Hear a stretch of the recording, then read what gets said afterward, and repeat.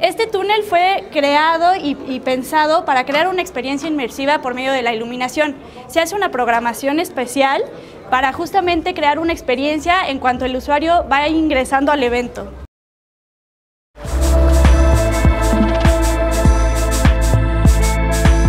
Actualmente soy productora ejecutiva en el diseño de creatividad digital Cuarzo.